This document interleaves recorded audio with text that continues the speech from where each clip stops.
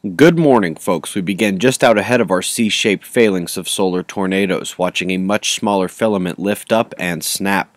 There's no major CME involved here, but this small eruption is part of a chain reaction event. Let's switch from 193 to 304 angstroms. We'll zoom back out to see that the massive plasma filament on the northeastern limb, it destabilized at the exact time that little filament snapped. It was one of the prettiest entrances to the Earth facing disk I've seen, but she is gone now. Then, just a few hours later, an umbral surge, shift, and release of the umbral fields at the sunspot below the C shaped phalanx of solar tornadoes tripped up the equilibrium those filaments had found in the corona, and just like that, the solar tornadoes are just about gone, lost back down to the surface of the sun. There were no significant solar flares to report, C range only. Looking in on the sunspot that caused the filament collapse, we see growth and spreading, but the spread is separating the magnetics as well. Still need another day or two to analyze those cresting the limb now. In 211 angstroms, we're beginning to see that the transequatorial portion of the corona hole is not quite as visible as the southern extension. Both will face Earth soon, however solar wind. The coronal hole stream took the speed up over 700 kilometers per second. Plasma temperature, which had been around 1 to 2000 Kelvin, is now pushing 70 to 80,000. We've been unstable and in and out of geomagnetic storm conditions. Beneath our feet, we're back at unusual locations. Albania is not your everyday quake zone, and Iran only gets upticks every few weeks to months.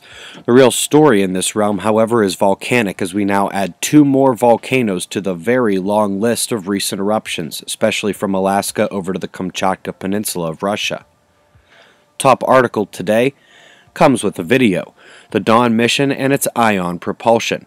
This is a very important mission given some Starwater hypotheses about the chemical makeup of asteroid belt objects. It has already revolutionized how we look at Vesta, and now it's on its way to Ceres. It arrives on March 6th.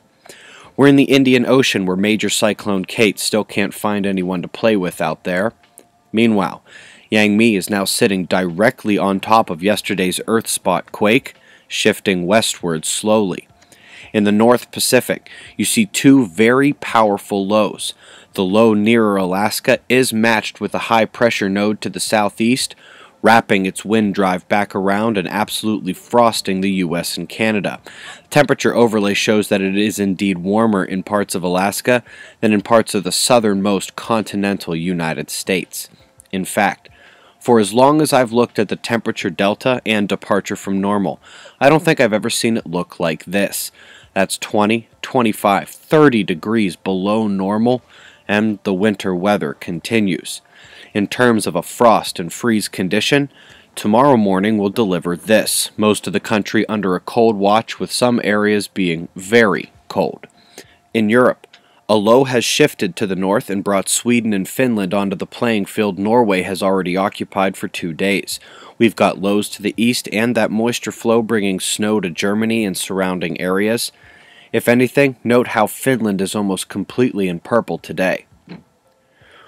Would anyone like to guess where the convergence is down under? Low between nations shifting its convergence back up across northern Australia. I'd say your weather is boring me down under, but these are indeed thunderstorm lines. We've got the current conditions and shots of our star to close. It's 6:15 a.m. Eastern Time, 5:15 a.m. Central. That's the news. Eyes open. No fear. Be safe everyone.